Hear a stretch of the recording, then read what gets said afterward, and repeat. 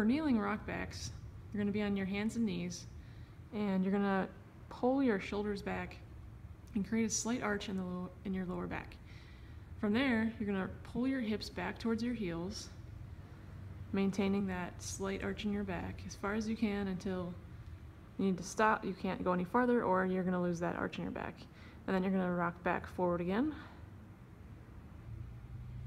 and back.